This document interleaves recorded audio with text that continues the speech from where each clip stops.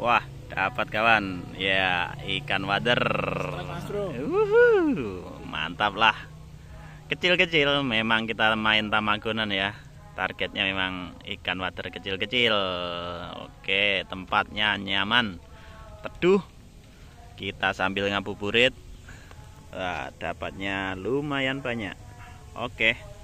Kita taruh di tripod ya kameranya biar bisa melihat proses ikan yang makan umpan ya